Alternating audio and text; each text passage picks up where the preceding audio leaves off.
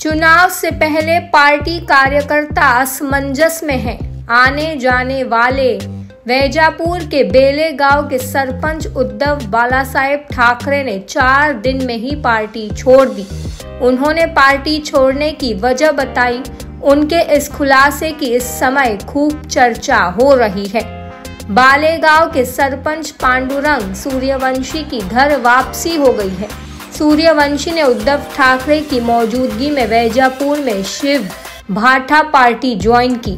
महाराष्ट्र के उप मुख्यमंत्री देवेंद्र फडणवीस के मज़बूत नेतृत्व पर विश्वास करते हुए पांडुरंग सूर्यवंशी ने आज भारतीय जनता पार्टी में दोबारा प्रवेश किया। देवेंद्र फडणवीस के मज़बूत नेतृत्व पर विश्वास रखते हुए भाजपा में प्रवेश करने वाले पांडुरंग सूर्यवंशी ने मिहिर कुलकर्णी का आभार भी जताया है।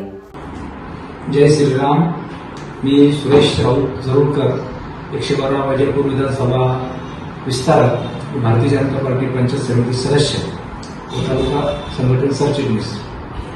गेल्या तारखेला वैजापूर येथे उद्धव ठाकरे यांच्या उपस्थितीत शिवसेना उभाटा गटाचा जो प्रवेश सोहळा झाला, त्या प्रवेश काही कारणास्तव या तालुक्याचे सरपंच बलराम भाऊ सूर्यवंशी व त्यांच्या ग्रामपंचायतीने उद्धव शिवसेनेमध्ये प्रवेश केला होता परंतु आज माननीय राज्याचे नेते देवेंद्रजी फडणवीस साहेब यांच्या नेतृत्वावर विश्वास ठेवून व माननीय मिहिरजी कुलकर्णी असेल व भारतीय जनता पार्टीचे जिल्ह्याचे नेते त्यांच्या सर्वांवर विश्वास ठेवून प्रत्येक भारतीय जनता पार्टीमध्ये प्रवेश करत आहेत व त्यांना परत आपल्या पक्षामध्ये घरवापसी या ठिकाणी केलेली आहे.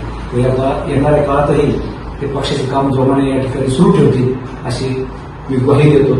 जय श्रीराम.